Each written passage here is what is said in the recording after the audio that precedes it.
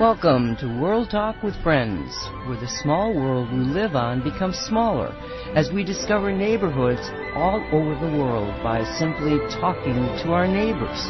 This is Haggie Shack Radio Production, simulcast over Wolf Spirit Radio Network.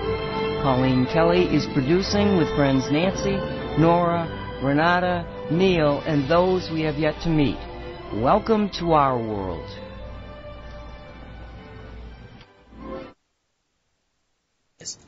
Oh yeah. And you are live. Hello, hello again. It's uh, June 15th, 2016. This is World Talk with Friends. My name is Nancy Hopkins. You're listening to uh, Haggie Shack Radio, and our producer is Colleen Kelly.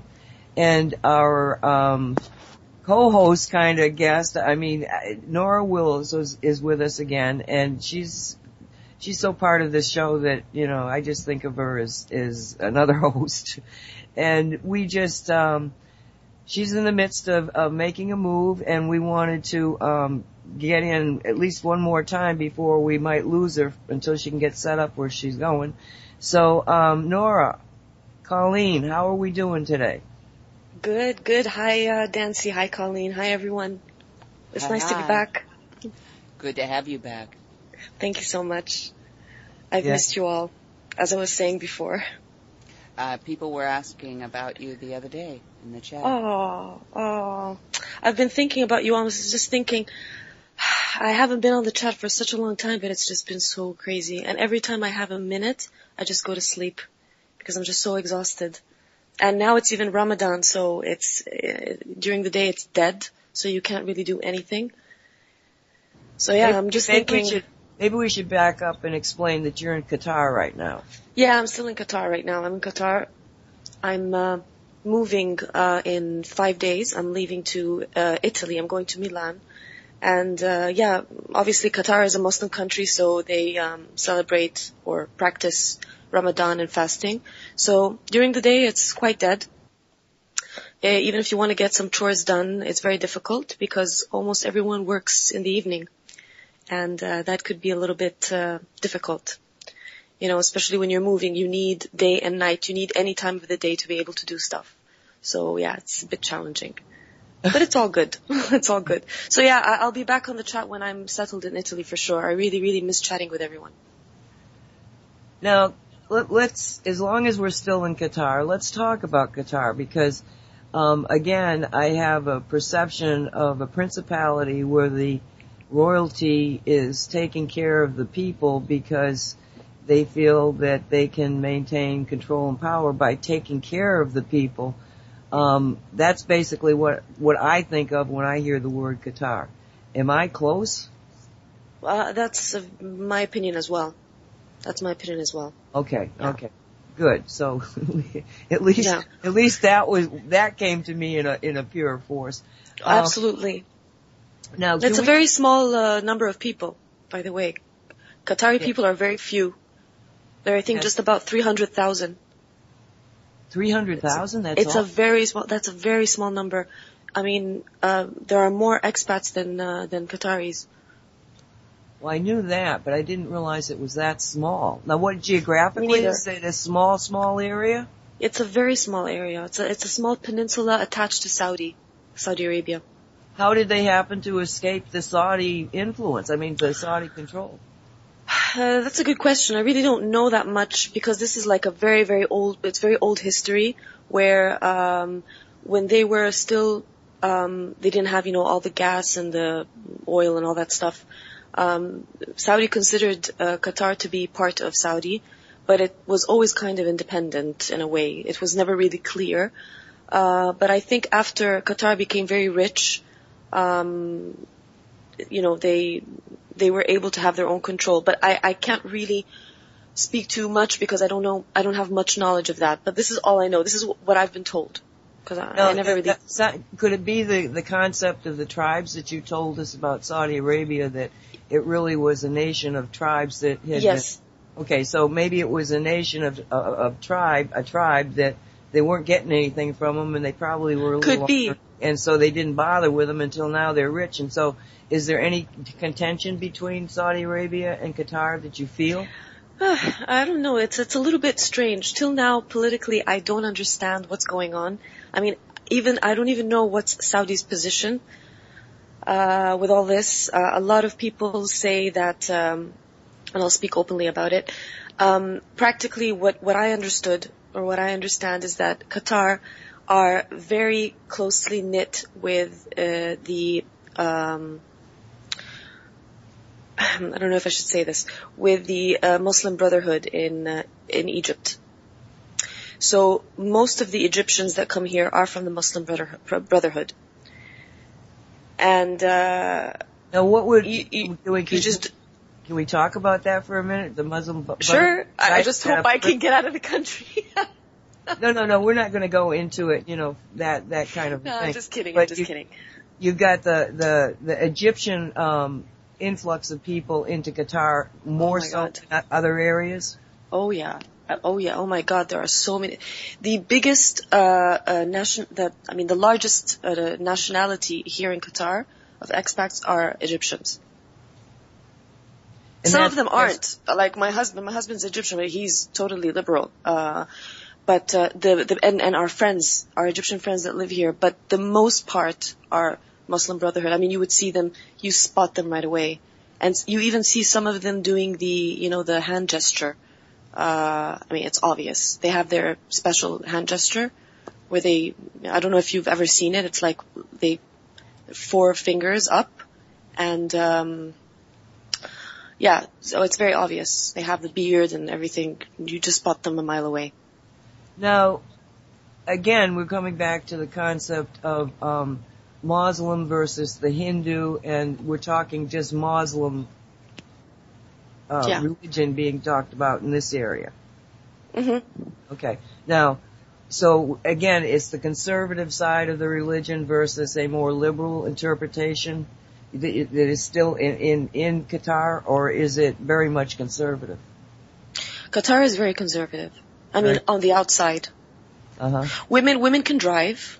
Um, women put a lot of makeup on. Um, they're very dressy. Some of them are like over. I mean, you can you just see them. You know, they have so much makeup on. They uh, they have like expensive bags, expensive shoes. So they're very showy. They have extremely expensive cars. It's very normal to see Ferraris and Lamborghinis and and and Maseratis and whatever here in this country. Um, but the culture is uh, conservative.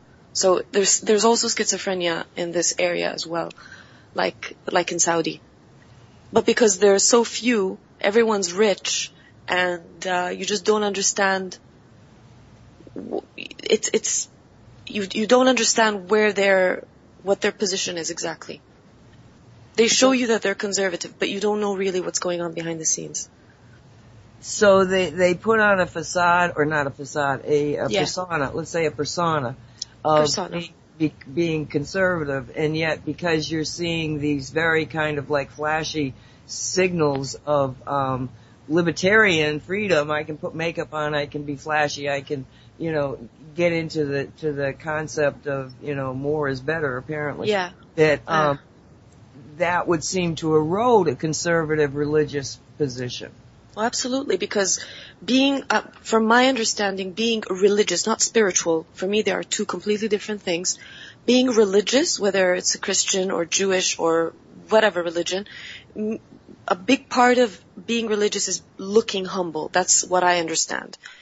So you can't be a religious person. I'm talking about the concept of how people understand religion.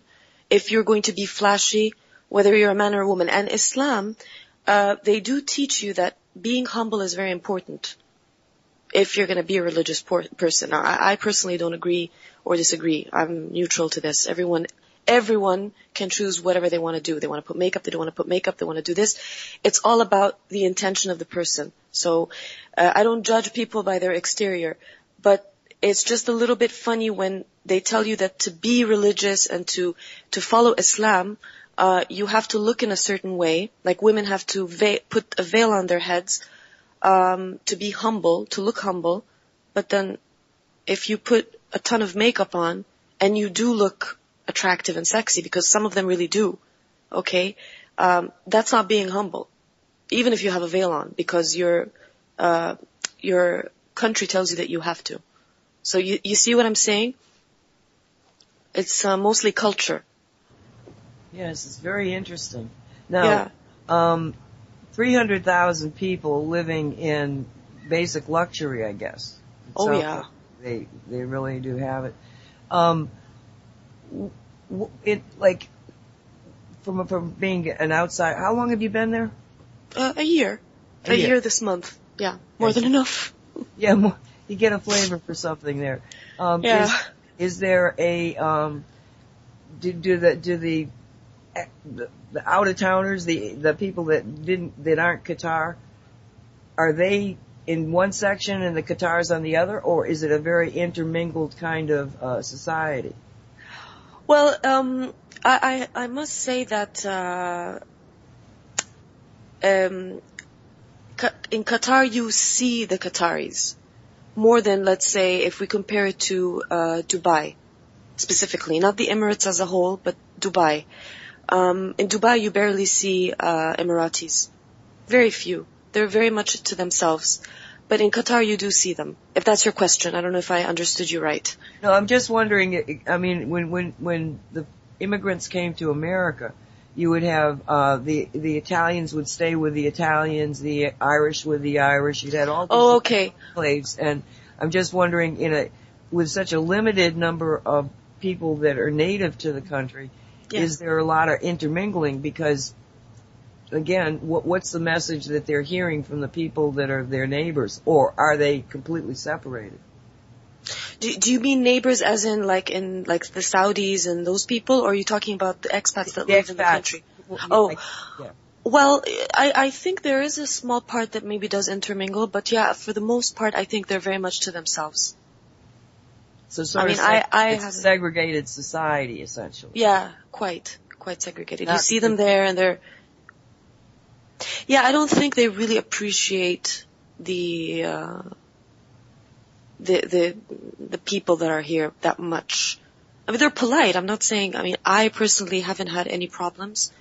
Um, even when I went, let's say, to get my account in the bank or I dealt with men or women, but they knew I was Saudi, even though, I mean, I, I don't, I'm not the stereotypical Saudi. I don't wear a abaya, you know, the long uh, black gown with the uh, scarf.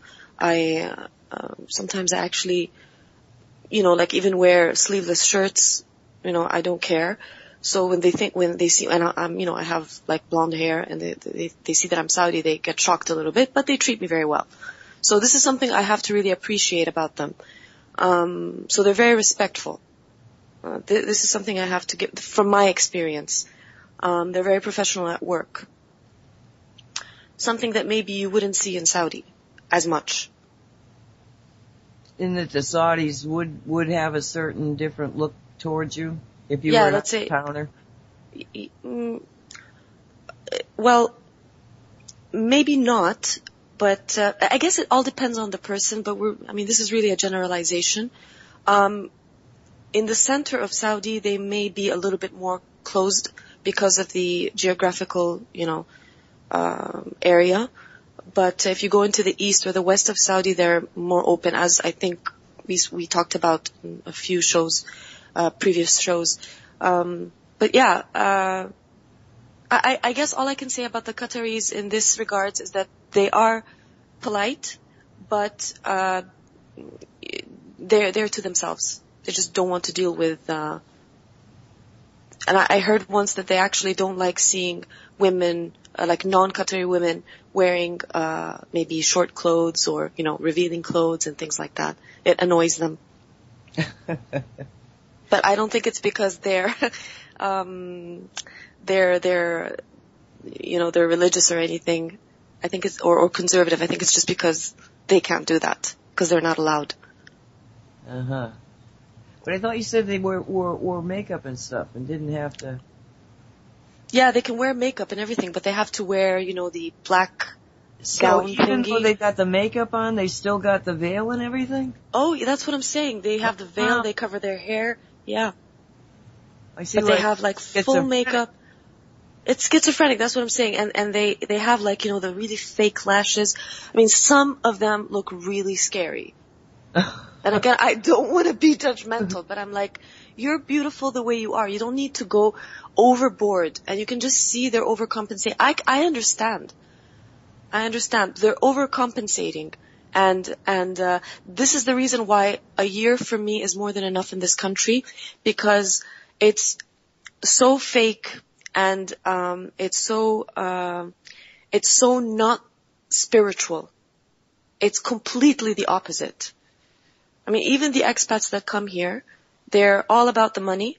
They come here just to make the money. Um, and everyone is drinking 24-7. Um, it's all about consuming and spending. The country is very expensive, really expensive. I mean, our flat is extremely expensive. So, um, it just, it just totally does not resonate with, with me.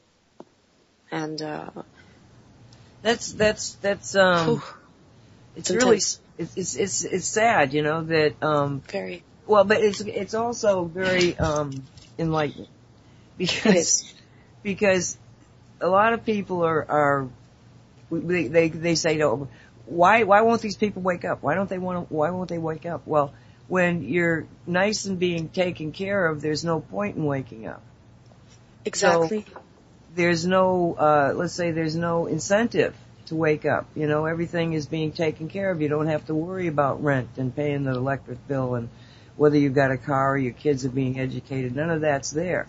And it's almost like a um, commentary on the human condition that, you know, you don't make these leaps in enlightenment unless you're challenged. Absolutely. know, so- Absolutely. and and this would be an example of it. You've got everything, and yet um, the people who are living amongst you are finding you at least a little boring. yeah. you Yeah, just exactly. are, you know, not living life. You're going through life. Exactly. Exactly. So- and, and it's just Oh, pointless a little bit. No, it's just, it feels, you can enjoy, I mean, I remember when I went to Nepal and it was my last time there, uh, the last time I was there, and I was quite privileged to meet the, uh, Lama, uh, that was there. Um, it's a uh, monastery called Kopan Monastery. It's actually quite well known. I think Richard Gere goes there or something. Anyway, I found it by chance, so it became my second spiritual home. And um, this this guy, he's called Lama uh, Zopa Rinpoche. He um, he's very difficult to meet, and it just worked out. And I met him for an hour, and uh, he gave me some good advice. He's he's really, I mean, he's a very very wise person. He's over eighty, and um, he told me something that really resonated with me. He said, "It's not about not enjoying life. If you have things." Um, whether it's money or whatever. He said, it's okay to enjoy it. You can indulge and enjoy. He said, it's the attachment that is the problem. And uh, he said, attachment is the root of all suffering. You know, as as is said in the Buddhist uh, concept. So it, this is the point. You can enjoy whatever the universe gives you, and everyone has something. Because you may not have the money, but you may have something else. Another person that may have the money may not have what you have. You see, it's just, it's like a balance. Everyone has, and, and things change because life is fluid. So we never know how things can change. But it's just about enjoying the moment and not being attached to what you have. And this I think is the hardest thing for most humans to, to master is detaching from the mundane things, enjoying them but de- detaching at the same time. So, so this is Because something they I get think they get they yeah. get dependent on them. You know, exactly. It becomes an addiction. yeah, it, human beings are interesting in that, you know, you get to be like, I'm like 68, and when you get to that, be, be able to look back and look at life kind of more objectively, like it's the only way I Exactly. can put it. You begin to perceive certain tendencies in human beings that, um, are so, somewhat annoying, Yeah. I guess. And one of those is that they continually want tomorrow to look just like yesterday. Yeah. They feel comfortable in it. It's a known, you know. Then you've got people that they always want to go out and find something new and different. And in the way that we look at human uh, history on the planet, it's those people that go out and strive to find something new and different that we remember. Yeah. And the rest of them all become backdrop, backdrops to life. Um, somebody, we got into a conversation about reincarnation and the concept of not everybody could have been Cleopatra. You know, Exactly. Thank you. Yeah. you know, and This was always uh, my argument. Everyone's saying I'm Cleopatra. I'm a king of I don't know where. Uh, you know, but, but somebody pointed out that, um, oh, this was Annette, Annette when we were on doing the skeptical Annette, um, sassy. oh, I've, I've heard that. Yeah, I've heard yeah, that show. and- yeah, she's great. And, She uh, is. but she was, she was, um, you know, the question being is that, so if there's reincarnation, how come all, all you seem, everybody that remembers anything is these big lifetimes? and it was pointed out that it's conceivable that the people around these big people, you know, who have nothing in their lives to begin with, fixate so much on that personality, that critical personality in history, that that's their focus, that's their memory. Because they didn't even know themselves, they weren't even acknowledging themselves. That's why we have all these superstars and, you know, the people get invested in these storylines of people that they don't even know, Exactly. you know? Very true and sad. And very sad because every single human being is unique and special. You know, and if, if, it's one thing if you go through life and you're unique and special and very few people realize it or reinforce it. It's another thing when you go through life and you don't realize that. Yeah. Yeah, absolutely.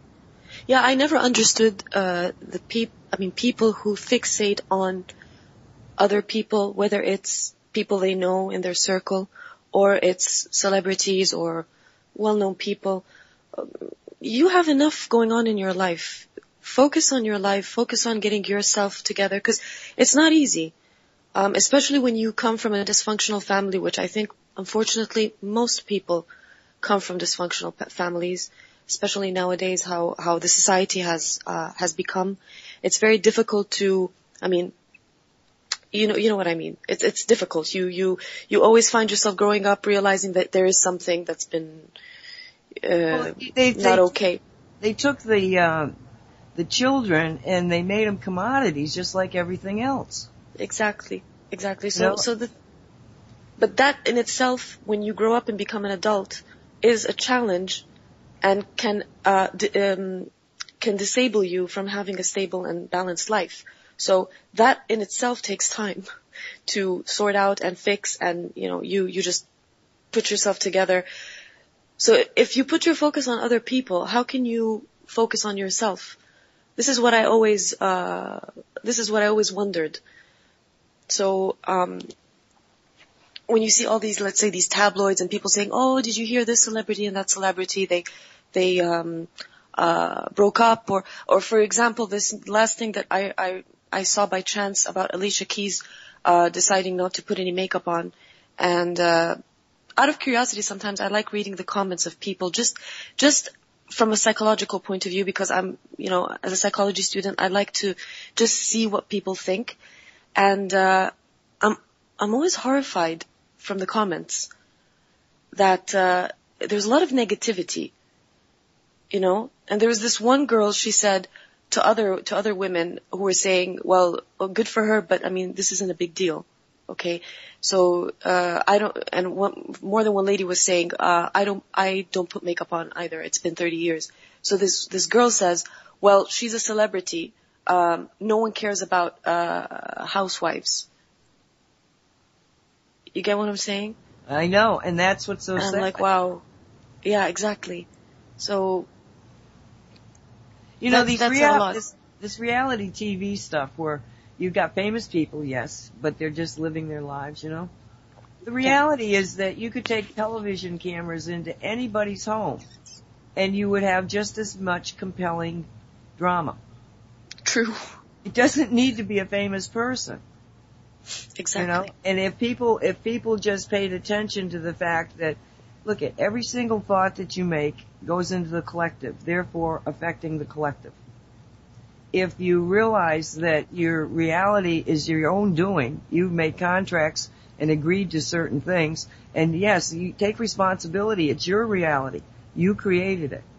Exactly. If people went into a state of um, looking at themselves, appreciating themselves, they automatically have to look at other people in the same way. And I, I tell you, I was not a fan of humanity. well, I can't blame you. They were pretty screwed up. But as I opened myself up to look at humanity as each individual, as an opportunity to, um, let's say, persuade them that there is more to life, okay? Yeah. And began to just allow myself to connect in ways that I had prevented because they kind of like they'll suck you get vampire empire uh, energy vampires. They suck your energy right out of you, you know? True. But the more I started interacting with people the more fascinated I got with each individual story. And then when I got into the radio and stuff I, I started realizing that everybody's got a story and every story for whatever reason is fascinating in some aspect True. and so I started talking to more and more people and that's the key is that I started appreciating myself and be feeling I, you know, I've got to, I've got to go out there. This is, these are people that, you know, if they just are given the chance to feel a different type of energy, not even talking to them, just, I believe in the energy universe. And if my energy is what I believe it is, then I should go out and I should try to allow people to feel a different type of energy. Exactly. But everybody's like that. So when you go out into public, you're also going to get those idiots, those awful people that are just putting out such vile energy. Alright? Now the Yeah. key to it is, is that if they're doing that to you and you re- begin to resonate with that, then you're putting out that energy. So, and I used to be one of those. I mean, if you tweaked me off, I was going to respond in a, in a very negative way. hmm But then as I learned, I realized that even though those people are in a negative state, they do not have to remain in a negative state. All you have to do is get by what they're saying and doing and see it as an, a piece of, a, a violin that's out of tune and tune it. True. And then it's their choice whether they want to actually resonate with it or not. Well, in, in effect, they will not have a, they can't, they, at that moment, they have no uh, other, uh, other reaction except to resonate or leave. Yeah, exactly. because a, a person who is knowingly putting out positive, loving, joyful energy is always going to overcome the dark side. There's no other way because nature wants to vibrate with that loving, joyful person. So when that person is, is vibrating at that, everything around them, whether anybody senses it or not, the trees, the birds, the bees, they're all starting to vibrate along with that person. That's how powerful we are. Absolutely. couldn't So, you know, more. at the, at the instant that they're in confront, confronting the energy field, they, they will either, you know, all of a sudden go, what was, what was I thinking? What was the problem? Or they will leave. And whether they stay or not is not that 3D personality's decision because they were being drawn into that. There's no coincidence. They were being drawn into that situation with you in order to make that connection of energy. That's very true. You know, so if I don't go out there and put myself out as one of these energy beacons, then I'm not doing my job. You know, and, and it's an opportunity to make a change energetically. So, I, th- and once you do that, once you really appreciate that everybody's got a story, everybody's as important to everybody else, we all come into the game with the same thing, and that's thought, consciousness. Very true. Well, I and the couldn't agree more. it, the more it, it begins to, to build a reality around you that is uh, is to your more to your liking because now you've realized I'm not I'm not being my reality doesn't depend on the on the banks or the politics or the fact that I'm married to this guy or I've got this daughter. None of that is is important. What's important is me and how I'm perceiving life and how I want to perceive life. And once you take that, that concept of dominion over yourself, you got nobody to blame. And that's the key. If you have nobody to blame, then get on with it. Exactly. That's so true. That and I, I you made a, such a valid point because it's all about taking responsibility, taking your own response. And I think um, people are so afraid to. I mean, I was one of those people out of ignorance because when I finally realized, I mean, you know, the the the, the light bulb uh, switched on in my head, and I'm like, oh, wait a second, but I'm responsible. I got it. Then I wasn't trying to run away from it. I didn't say, oh, no, no, no, no, no, no, that's not the case. That's not. No, I said, okay, so now that I get it, I have the responsibility to work on this. And, uh, and that's the key, as you said, is to realize that you have self-responsibility and that you shouldn't blame anyone. Because things happen, crappy circumstances happen, there's a reason for them. But as you said, it all depends on how we resonate, how we behave towards these situations. And if we decide to, to, to, to react in a negative way, in, I mean, at the end of the day, we still should not blame others because we're the ones who reacted. So it's a very hard concept to understand, um, because it really, really puts responsibility square on your lap. And I guess it's a, it's a difficult thing for, for, for people to want to accept because it's easier to blame. You know, it's, It's easy easy- to play the victim, the victim. Exactly. But the thing of it is, is that if you're playing that game, you have no freedom. You don't know who you are. And I remember my, my friend Cindy, when she first got here, she put it this way. She says, I don't know where home base is. And we've had good discussions about, you know, people not really feeling like they were home. Whereas, to me, wherever I'm at is home. Home is where the heart is. Yeah, there's no, there's nothing around me that, you know, says this is home. It's Yeah. where I am. And well, where the pets are too. I mean, but that's, that's extensions of me. But, um, and, and I, you know, I was lucky. I came from a very, um, unique, the old, oldest of 10 kids, um, environment and really learned what works in the sand pit. In the sand pit, I, I mean the sandbox, but we had a sand pit. We actually had a place Wow. very close that we used to play in that where they would dig up sand. For whatever reason, there was a huge sand pit there. Uh, but that's where we learned, you know, what works between children. And it's very interesting to, to go back and think about the dynamics of that because each of, each of those children were bringing in their, what they were seeing at home to that sandbox. But when you got into the sandbox, you had to deal with a set of laws and regulations that really were much more clear than what your parents and everything else was in schools and what all that was trying to tell you. Because in the sandbox, what works is, are you having fun? Exactly. You know, that's the only point of the sandbox. Are you having fun? And if you're not having fun, everybody leaves the sandbox, except Yeah. the person that was having fun. So you either play and have fun, or, you know, you're gonna bring in your garbage and you're gonna try to take my shovel because it's my shovel and you want my shovel. That ain't gonna work. Yeah. You know, and the basics of the, of the, let's say the, the, the game in the sandbox is just, we gotta have fun here. And if you're not having fun, then you better leave. Exactly. so I just That's so learned, true. I took that. I mean, I say on the, on any show I'm on, if we're not having fun, we're doing something wrong. Exactly. You know, because I learned in the sandbox, the point of life is to have fun. Fun, exactly. That's so, it's it's very um, disturbing when I mean there's obviously a reason for it, but the whole purpose, as you very well said, is to have fun. It's a game. It's from the way I see it is that source is, um, and as many other people have expressed it, but I really truly believe in this. Source is expressing itself through us. It's learning through us. Opposite of what they tell you that, you know, God is all knowing. Yeah, God is all knowing. Fine. That's not, that's not the point.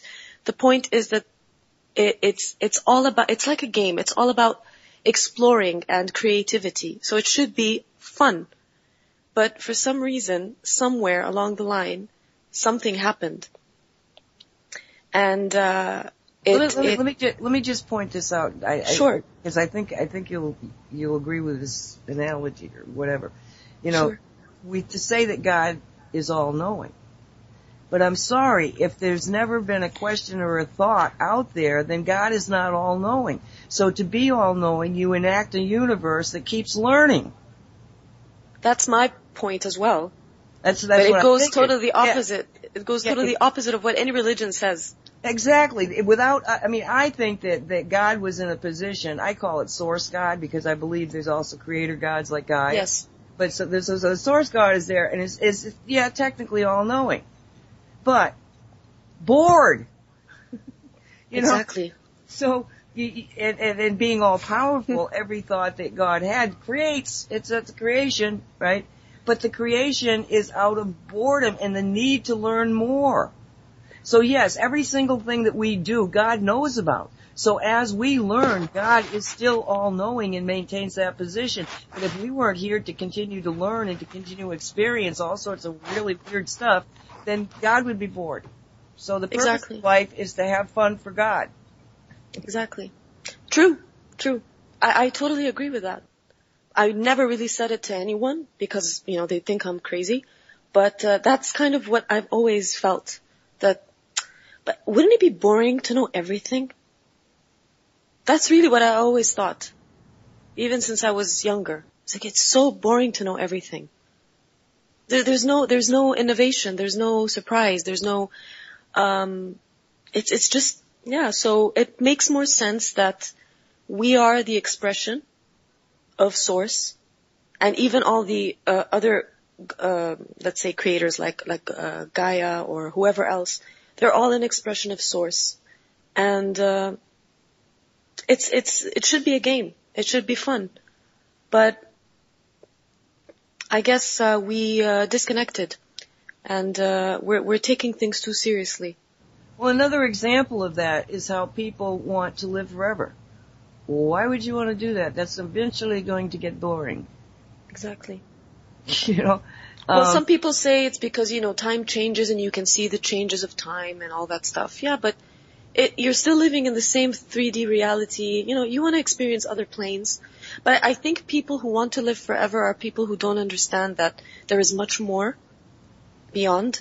They're, they're so afraid to let go of what they know and, you know, the comfortable, uh, the, just the comforts of their, of, of their surroundings that they're too afraid to experience anything beyond. You know, is what what they're doing is they're taking a book and they're reading it and then they're rereading it and they're rereading it and they're rereading it. They don't want to pick up another book. True, true. No, yeah, I agree. I, I so agree. You see, we, when we talk about things like this and then I come back and, you know, we, we hang up and I just sit down and, you know, like, for instance, a country like Qatar or, or Saudi, it, these concepts are so foreign.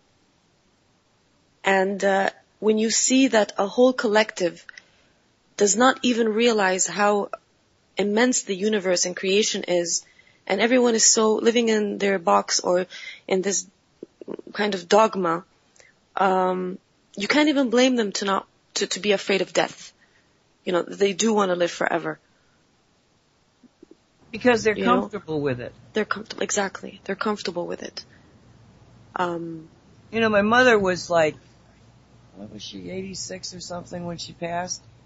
And one of my, one of my brothers said to me that mom said, I thought there'd be more time and I'm going like, you had 86 friggin' years. What, what, you didn't have enough time to do what?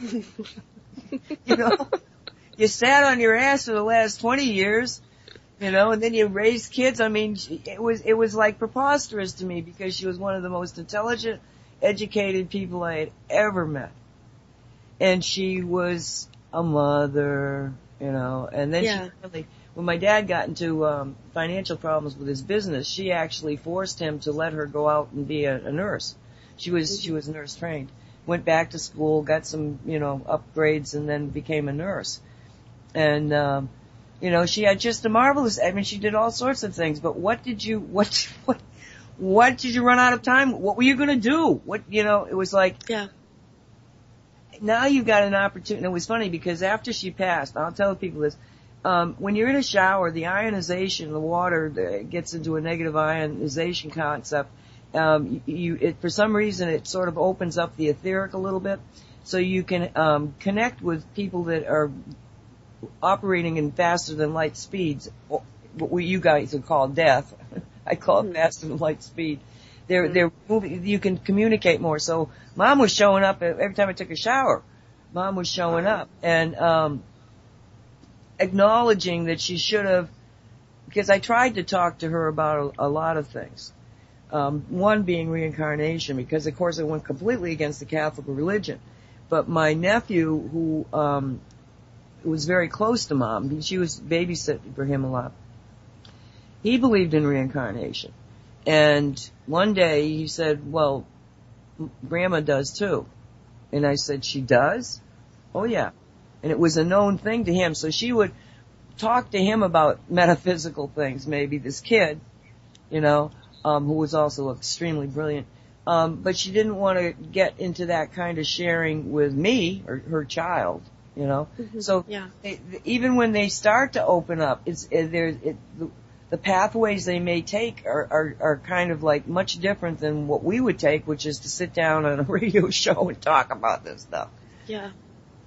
You know, so they keep it all in their heads. And so you kind of wonder, okay, you got all these people out there all over the world who seem to be brain dead by our standards. Maybe they're not. Maybe they just are not relating this to us. And, you know, it's, it's like there's an old saying that the older I get, the more, the smarter my parents get. But I think that may be true with, um, conspiracy people. Mm-hmm.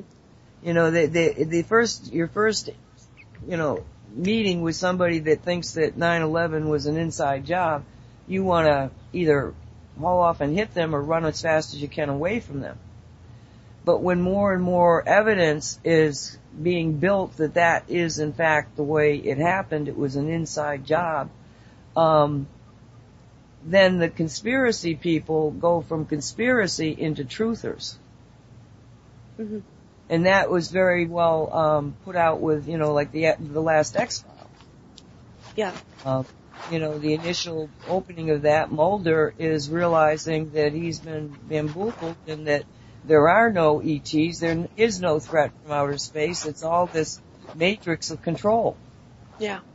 And then he meets some people from outer space. Finally. Poor but, guy. Uh, yeah yeah, yeah. Um, you know, let's let's talk about the Ramadan um, sure concept because, again, when I was um, the last job that you know, uh, 3D kind of job I had, we had a, a sister kind of business right next door, and the man that was sort of the office man, my my comp, you know, he was doing the same job I was, but for them, we would interface a lot, and we became friends over the years and he was Muslim, and he was, without a doubt in my mind, without a doubt, he imbued purity and love like no mm-hmm. other human being I have ever met. There was something so fundamentally pure about him. He was, his, his wife was lovely, his children, I mean, he was so absolutely focused on them Mm-hmm. that oh, he beautiful.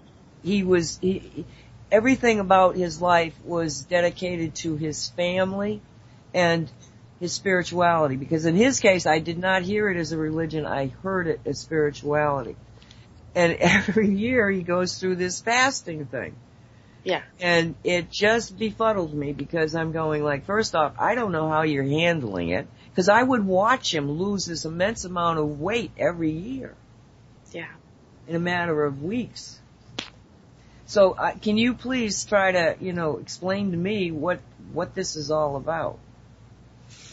Would you like me first to elaborate about how it works or what is the concept of Ramadan? Whichever you feel comfortable with. Okay, so the daily life, how, how it starts, practically from dawn, uh, when the sun rises until the sun sets, uh, you fast. So no water, no food, no medication, nothing should go through your, you know, your throat or whatever. You, you can't swallow anything. Not even, you can't even have cigarettes. Nothing. And how, Um, how long is this? Is a month? Is it 30 days? It's a month, yeah, it's 30 days. And of course it depends where you're living because, you know, like, uh, in Canada, let's say, or in Northern Europe, uh, the sun sets really late. So if the sun sets at 9 or 10 p.m., you fast until that time. So some people are gonna fast only for, let's say, I don't know, 10 hours. Other people are gonna fast for 14, 16 hours. Okay? So that's, that's one thing. Um, and then when the sun sets, that's when you break your fast. You're fasting and you, uh, and you have, you know, um, everyone's different. Some people, uh, you know, do it the traditional way where they have, uh, dates and, um, they eat a couple of dates and then they go pray and then they eat after that. Uh, some people eat right away. It's just, it depends on every person. And, you know, there are these traditional dishes that people have. Every country has their own traditional dishes. It's usually, you know, you break your fast with soup or things, like very light things.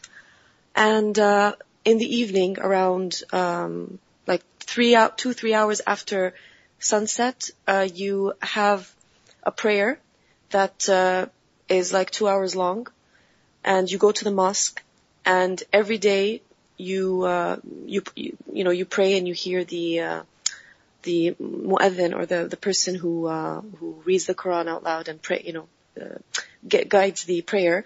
Um, he reads a section of the Quran and they have to finish the section of the Quran, they have, they have to finish all the Quran within a month. Uh, the last 10 days, this So, is just to give, excuse, excuse me. So they actually read the entire Quran, Quran, um, during that 30 days? yes.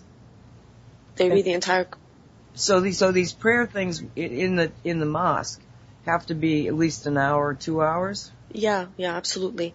Because, you know, there is, hmm? sorry, daily. daily. Yes, daily. Of course, not everyone goes. But if you're going to, you know, practice Ramadan the way it should be practiced, you do that. You go, at, like, let's say, let's say, um, the sun sets around 6, 6.30, uh, the prayer starts around 8.30 or so. And, um, and you just stay there for a couple of hours or an hour and a half, depending. Every mosque is different, but they have a schedule to finish the Quran uh, till the last day of, of, of Ramadan. So they they divide it. The last ten days of Ramadan, you have those two hours in the evening, and then you have something else called the prayer of the standing prayer, if I want to translate it literally, where you have another two hours um, from one to three in the morning because in Islam, as I believe it's also in other spiritual concepts where um, they say that the energies are very uh, are very less 3D in that time. So you're closer to the spiritual etheric realm, and uh, that's the best time to pray. Okay, now let me, let me just go over this again because Sure. you've got these people that are not eating for, you know, up to 14 hours in a day. And then you make them go and do a two hour thing at the mosque where they're learning, they're hearing the Quran being read. Yeah. And then as you go, you've done this for 20 days, so now your body is pretty beat up. Quite. and, and, and they're making you do this extra thing where, what's happening? Yeah, practically uh, the last 10 days because the, the, the whole concept of Ramadan is that it's said that it's the month where uh, the Prophet Muhammad received his teachings of the Quran from, uh, uh, from Gabriel. So in the last 10 days, these, they are not sure when was the specific night that the Prophet first met Gabriel. So that's a very sacred holy night. They don't know. It's between the 20th or the 21st till the 30th, I think, or 29th. It's about 10 days. So, uh, in these last 10 days, they do this extra prayer at night. I mean, in the morning, which is from 1 to 3 approximately. And that's when they read more of the Quran. So the last 10 days, they do two parts. Yeah, it's crazy. It, it should be a month of complete spiritual practice. devoting yourself to spiritual practice. Well, I and of course, if you work, you work, uh, you do your job, and then you go home. You rest a couple of hours before you know the the the sun sets. You eat, and then you have to. You should focus on uh, the the the spiritual or the religious practice. Well, oddly enough, it sounds to me like, um, in a sense, a vision quest kind of concept of the Native Americans, where y anybody that is is sleep deprived, okay, Mm-hmm. um, their entire within 48 hours of not getting correct REM sleep, which you would not get if you're getting up at one o'clock in the morning. Yeah. Um, you you have the first stages of diabetes. Ugh. All right, now that's how fast it works. Um, but also, you can they they put people, and these were young kids. These were you know 20 year olds. They put them through a situation where they said, okay, take these tests, and they took these tests, and then they put them through sleep deprivation in that the kids were laying down and going to sleep, but every time that they would get to a REM signal, they were on a They wake know, them up. They'd wake them up with a sound, just enough to take them out of the REM. And then they would, would they started redoing these testing, and these the, the entire testing went downhill, downhill, downhill. And if you don't get enough of it, you begin to hallucinate. You begin to hear things and stuff. So it's like this entire culture is designed a month where they are absolutely, in my mind, putting people into a stress situation to open them up um, psychically. Yeah. Okay. Be in, in in in in a time between one and three in the morning, which is, I mean, that's why so many of us that are not on a schedule end up being up until three in the morning True. because there is something magical and mystical and um you're you're free to be intuitive and to you know that's why the native americans also say sleep on it Yeah. you know take, take it through those that that quiet time Yeah. where you're processing even if you're asleep so um i find it absolutely fascinating It is. And and the people who do uh, practice it, let's say the people of the older generations, uh, or even the younger people who are still very devoted, uh, you hear many of them do have visions. Like I heard a few stories where I would I was told that they would see light uh, from the horizon, not the sun. It was night, and they would see white light from the horizon, and I don't know, coming from the sky or something like that. And uh, they believed that uh, they did they witnessed that holy night, um, which could be true. I mean, I, again, I for me, I never dismiss any spiritual experience. I respect all spiritual experiences uh, because I've had my own. So you know, when you do experience your own, you tend to believe other people. But um, there's definitely something to it, uh, where how it's scheduled, as you said. Um, and uh, yeah, it's uh, and definitely fasting, uh, being deprived of sleep or eating, uh, does make you lightheaded, and uh, it can make you more susceptible to things that uh, if you're heavier, you don't. You're more, you know, you're more solid in the 3D. You don't, you don't really feel it or notice it. I mean, I notice myself when I don't eat, um, I feel lighter. I remember, I'll never forget once I was walking up the stairs and I practically felt like I was flying. It l- really felt like my body had no weight. And it was because I haven't eaten in a really long time. Well, watching him go through, um, Amy, watching him go through this every year for what, 15 years or something. Mhm. I can honestly say that something happened energetically to him during the Ramadan. That it was like, yes, I could see his physical body shrinking, you know, but the light body was much more intense. Yeah, yeah, I'm sure. I'm sure. But obviously, he was practicing it the right way. His heart was in the right place. Because it's, if we think about it, it's really not about labels. You know, Islam, Christianity, Buddhism, whatever. It, it's not about people put labels, but I always say it doesn't matter how you practice your spiritual, uh, you know, beliefs, uh, or how in the sense that if you do it in a specific way or in another way, it's how your heart is in it. Well, You- when you I what when I'm saying? Yeah, when did Ramadan start here now? Uh, it started on the 6th of June. Okay, so we're only t- about 10 days into it. Yeah. then. All right. Um, because you've got a, a, a, I don't even know, is what is it, a third of the population is Muslim in the world? I it's think very so. high. Yeah, it is And- quite high. You know, and you've got them all going through a process of, that seems to me to be very, um, let's say contrived, Mhm. whether they understood it or not when they set this up as being something that they thought they should do. But you've Exactly. got a third of the population of the planet that is opening them up, themselves up to connecting to them, their higher selves in whatever form they may be envisioning it or maybe not envisioning it, just putting themselves physically into that state at a 3D level. I mean, if people are talking about changes in frequency, to me, we should be paying a lot more attention to what's happening. True, if- it would be if good. you- if you want to program the world, do it while they're all open like this. Yeah. So I Exactly. suggest that we, you know, if if if you want to assume that I'm correct here, that Mhm. your thoughts are that important, you know, really focus in on these people who are opened up and just open up your frequencies of love and joy and enlightenment and understanding and protect them. True. That's beautiful.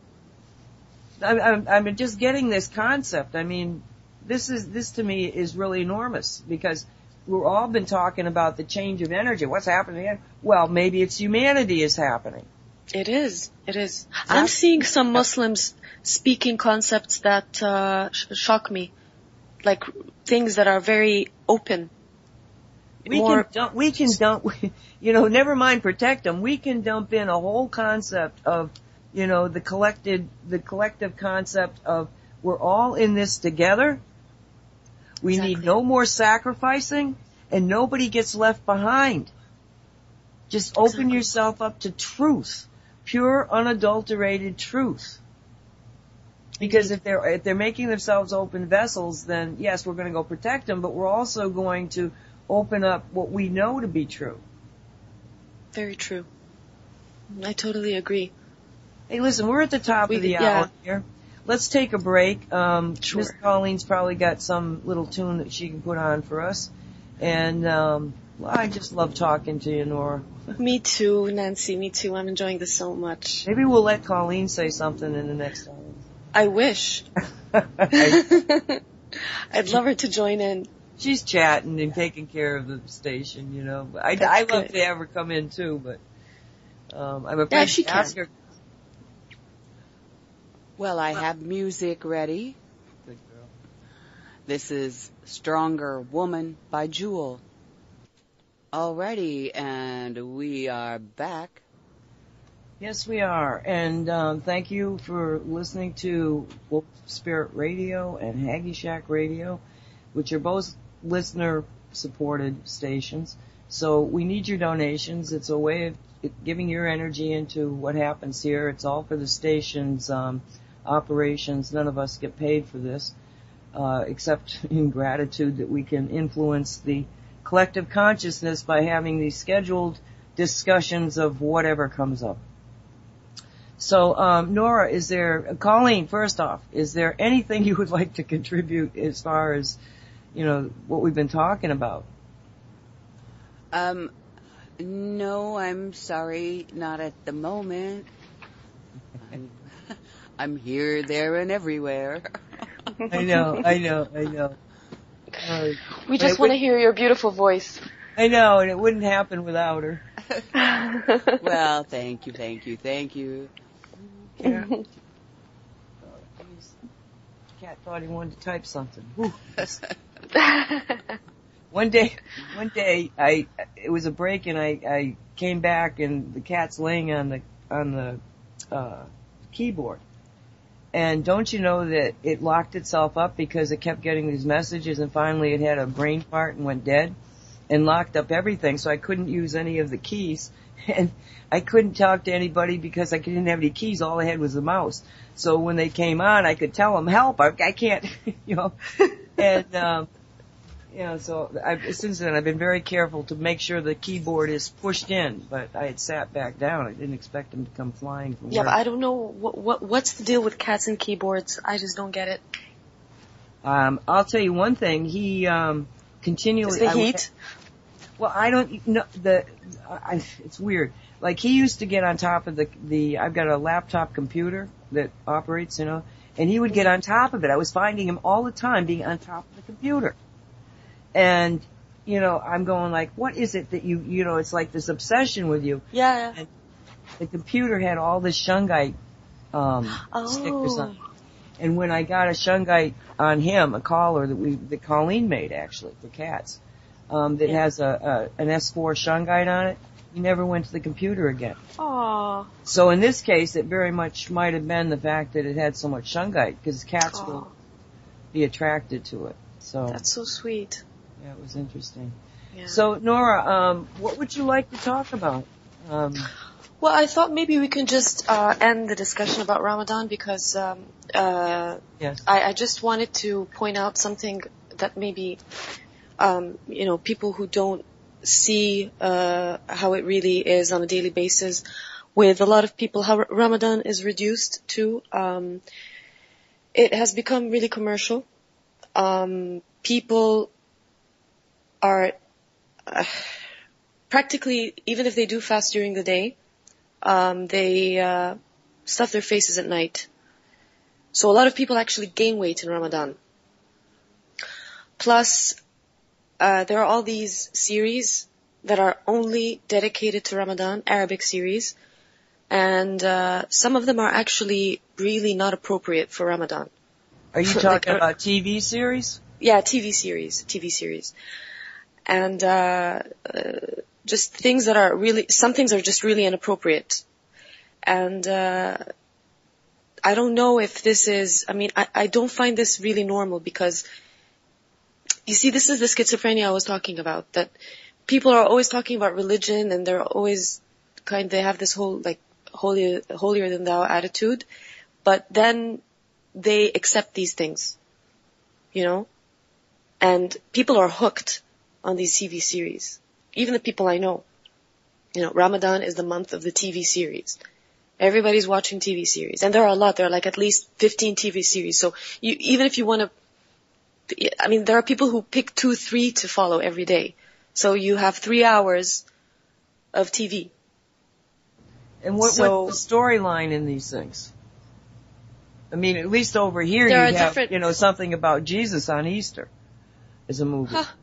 Well, they do, for example, maybe there would be one that has to do with, uh, you know, the stories of, of course, they don't, they no, never portray the prophet because it's not allowed, but, um, which is something I never got, but anyway, um, it, they, they would have maybe one series about something, you know, religious, but it's never really, you know, people never really focus on that.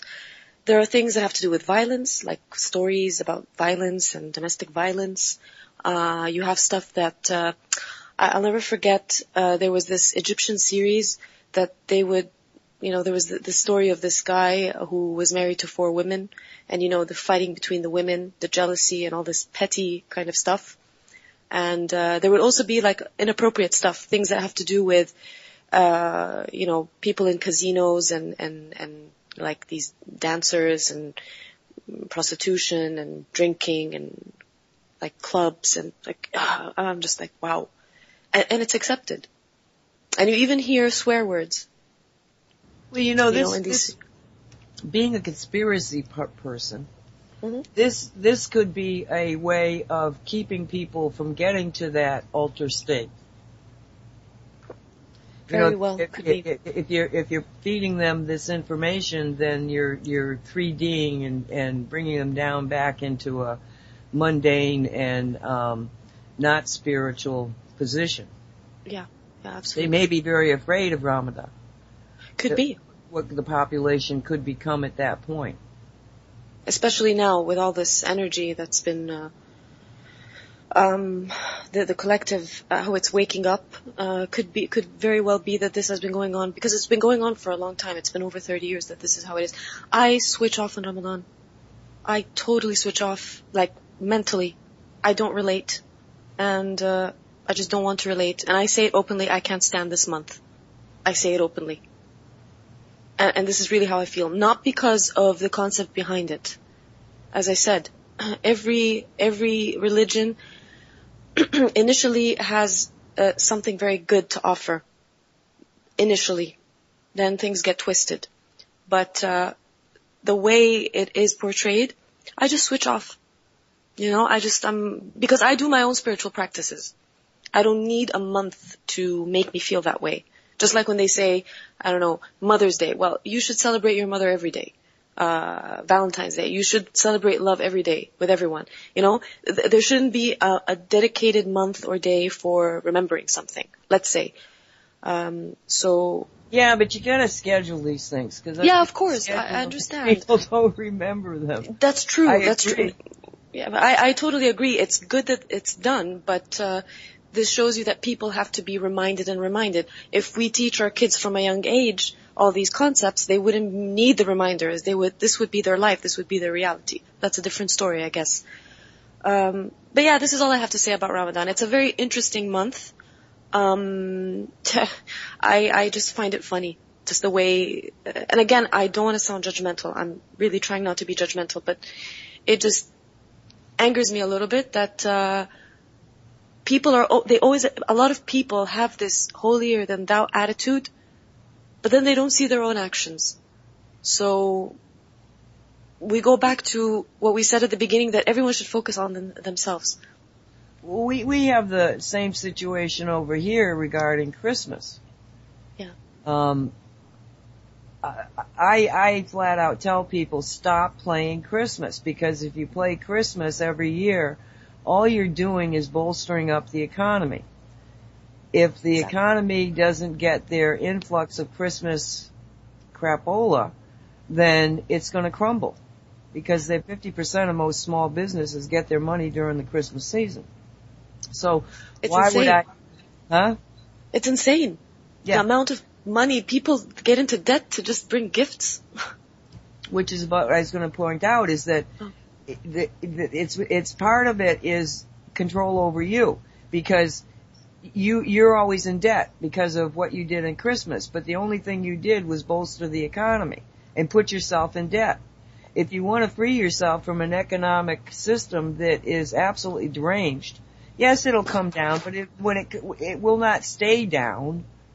You know, I mean, people get so afraid of oh, taking the economy apart. You know, well, yeah. Eh, the economy that's that's working by keeping you enslaved, financially enslaved, is not an economy that you should be happy with.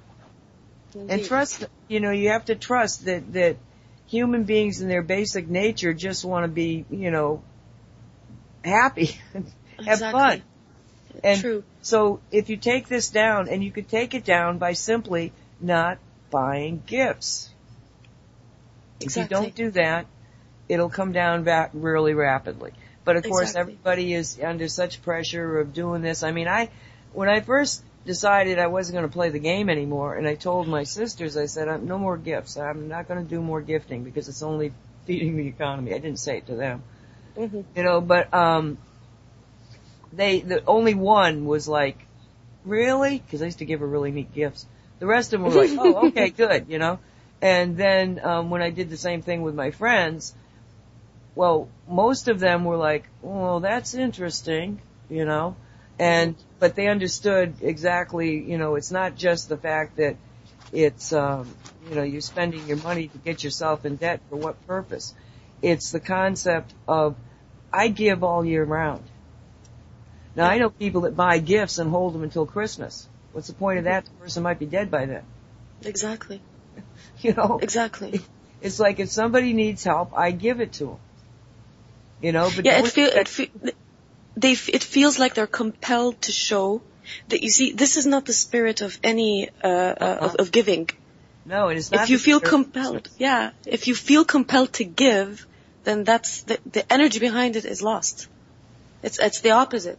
You want to give because you want to give, not because you feel that, oh, I am under pressure that on this day I have to give gifts or else, you know, people are going to think I'm this or that or I'm not, you know, uh, I'm not in a Christmassy spirit or it, it, it's just, it's so obvious, but it seems like it's so difficult to, to understand for most people. And, uh, well, you know, I mean, if you look at the, just the, the stuff that goes around Christmas, um, Santa Claus has got nothing to do with Jesus Christ. Mm-hmm. You know, gift giving nothing really to do with Jesus except you give from the heart. And unless you're, you're, you know, the, the, the nobles and you got the myth, the, the incense and the Frankenstein and whatever else they gave, you know, but that's acknowledging a special gift from the source God to us, you know, an avatar that could tell, teach us, could show us, you know, what we're capable of becoming. Exactly. And, you know, so the, the, the concept of, um, Christmas is so linked. If you look at it, the different, like, Santa Claus was a Coca-Cola scheme. It was Yeah. an advertising thing. You know, uh, the Christmas cards, all of it, it was designed to feed the economy. Exactly. And so where's the spirituality there? They, they absolutely, I stopped going up to Massachusetts at Christmas time where all my family was because I realized that those are not the people that I see in the summertime. At Christmas time, they're stressed out, they look terrible, they feel terrible, and they're all under stress for the holidays to do it right. You know? And it's Yeah. like, I don't think Jesus put that on the table as being a requirement to be saved. exactly. you go into debt every single year. What's the point? As you said before, the sandbox concept. It's about Yeah. having fun, being around people you love. What's the point of being stressed or fighting? You know, because I think a lot of fights break out in holidays. Yeah. All the crap comes out. Um, Somebody always gets physically sick. you see, so it, it, what's the point? Absolutely. And this I think is a global And thing. a lot of people die. Oh my goodness. It's a terrible time. Actually, it, it's funny you, you, you bring that out because, you point that out because in, in, after Ramadan we have the Eid period, you know, the, um, where people start, you know, they, they go back to the normal, uh, life and they have the, you know, this special kind of, um, holiday or whatever they call it after Ramadan. Do you believe that so many people fall ill and die in this period? I myself know people who've been either sick, like really sick, had to go to the hospital and get operations, or people who have died. The amount of people who die in this period is amazing, and I don't, under, I've never understood it. And now that you say that, that's quite interesting. The coincidence. Obviously, it's not a coincidence, but uh, yeah, Well, it, over over here, it's um, a lot of it has to do with just the stress because even if you're not stressed, all the stress energy is going around. Um, there, they physically have damaged the body. You know, they you know Survivor, the the show Survivor. uh huh, They had this one guy, and he was like, I think I, I think he was 72. I think that's what his age was, and he won one of the um, rewards. And so they went to uh, this feast thing, and he had to be taken out because his body simply could not tolerate the food that he ate. Oh my goodness. Yeah, he was, Wow. but you know, um, so yeah, I mean, you can't, you can't take people and just put them through this and then, you know, they just start up again. Yeah, it's, exactly. it's it very, time. it's a physically very dangerous, um, yearly event as far as I would, I agree. I agree. Yeah. So, I guess that's it about Ramadan. We'll see how things go. well, God bless But, it. Like uh, I say, the concept of being, you know, having a whole large group of Oh, people yeah. to open themselves up to, um, physically going through, uh, you know, of course we wouldn't recommend it. There's so many other ways of doing it. Um, but to be dangerous. actually- Psychically. yeah, a danger, a dangerous thing, but uh, it's, it's just really overwhelming when you think about it. And the fact that they're that you've got all of this uh, commercialization to keep them from going there in their own heads, that may be an indication that they're afraid that if if the people really did connect, oh my gosh, their reality would shift in a second. Exactly. Very true. Very true. Now it's dangerous because people also maybe are not 100% ready because their reality would shatter or their belief system would shatter. And um, not everyone is, um, you know, just like when they say, excuse me, uh, when they say, for example, you know, ayahuasca is not for everyone. You know, you, you need to be in a specific you you have to have a specific understanding of yourself. You need to be ready for it. So not everyone maybe is ready for that jump yet. It's And funny it could- my my mind went to LSD. Okay. It- uh, Interesting. yeah. Because I thought, you know, yeah, if if you suddenly put on the light and people saw the magic, it would be like somebody who had taken LSD and was in the you know the etheric LSD world. Um, DMT is something that we all produce, but the people that have taken this say that it, you always go back. She, one guy called it the DMT town because you always go back to the same the place same place, yeah. know? And and you went to to um, what? How do you pronounce that word? Which one? The the hallucinogenic Oh, ayahuasca? ayahuasca. ayahuasca. I think that's how it's pronounced. Yeah, no, ayahuasca. you're right. You're right. I just uh, I have some some blocks for certain words, and that's one. Of, Yeah, me too.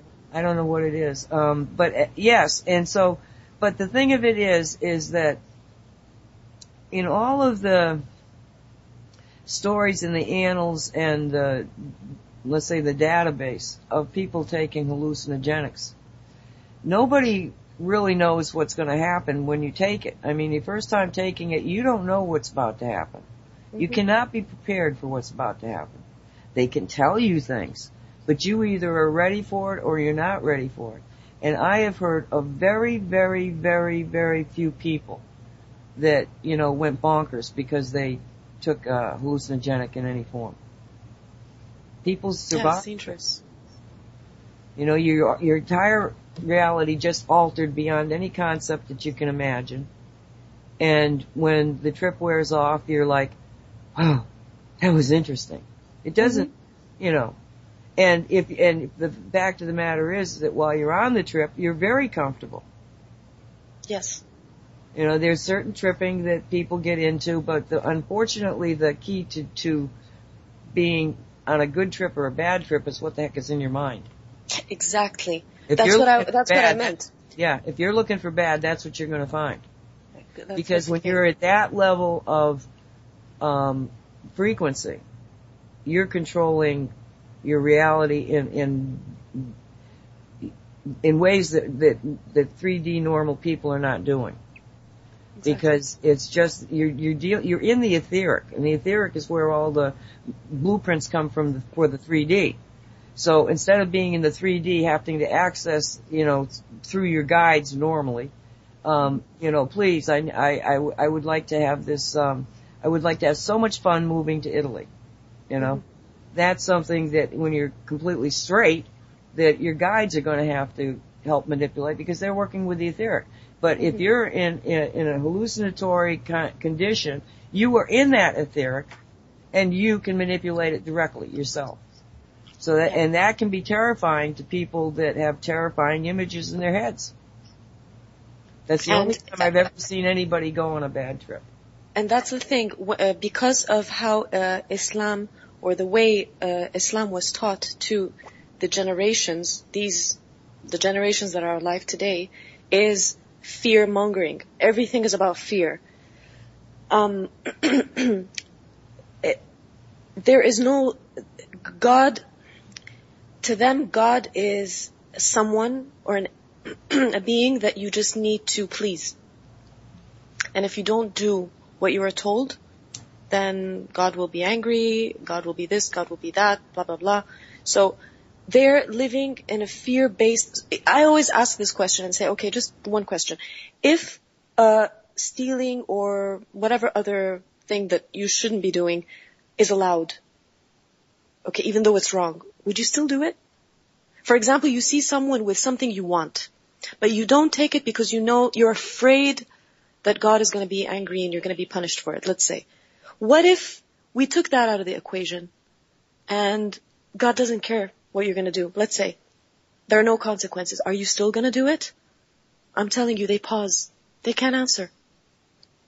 Well, my brother one time said that he said, "Well, I got to tell you, I didn't do it. I did not do a lot of things because Jesus might be watching."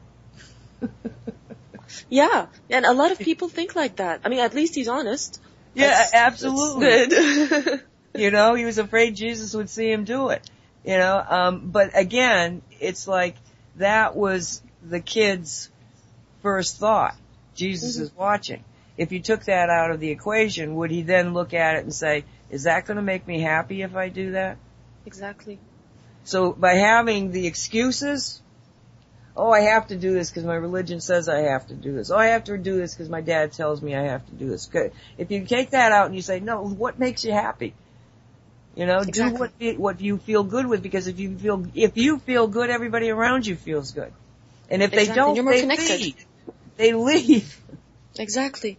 But how can a person go on a on a on a trip, even if it's just self-induced, like you know, in a spiritual situation?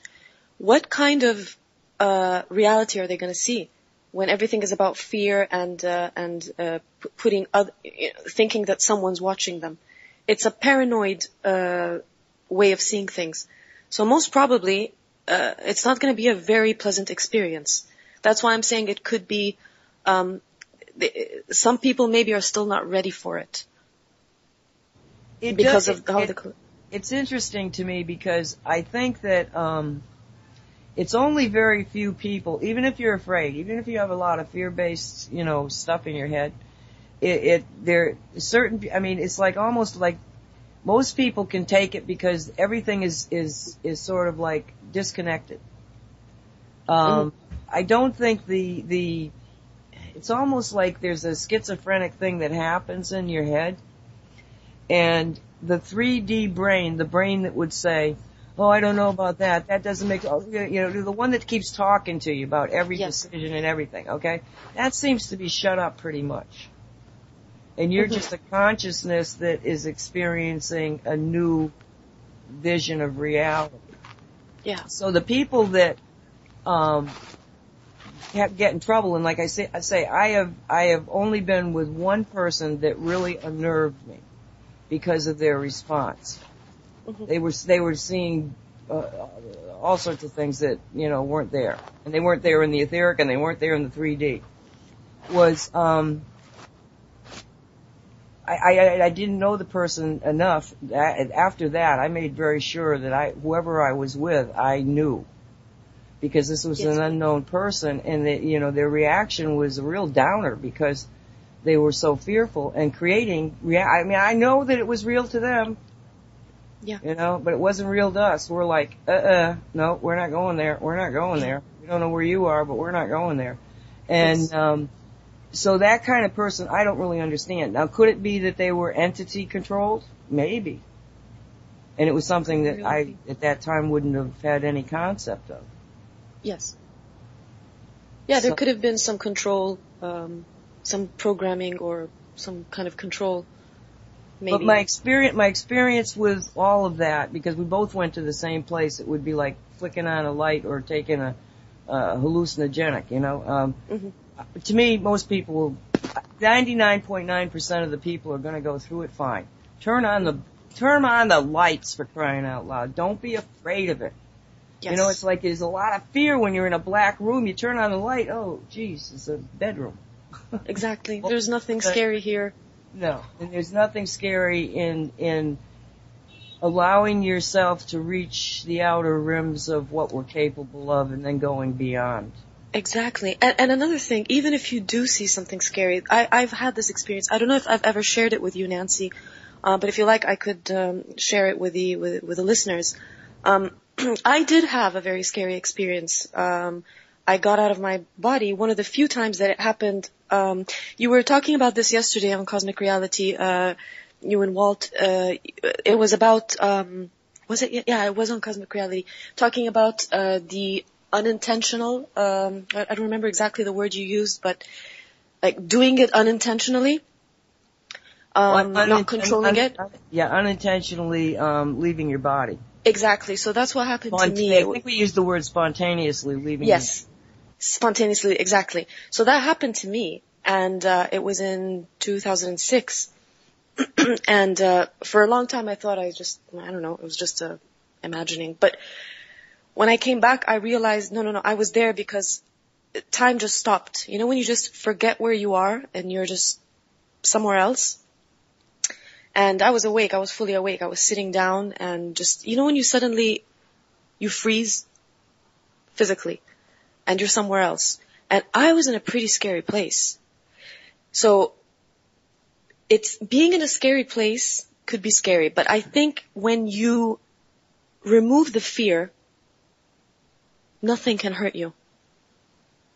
I mean, what I saw, I was, I think it was some sort of hell. Because, um, if you like, I can share what I saw. Yeah. Because it was quite, it was, it was quite intense.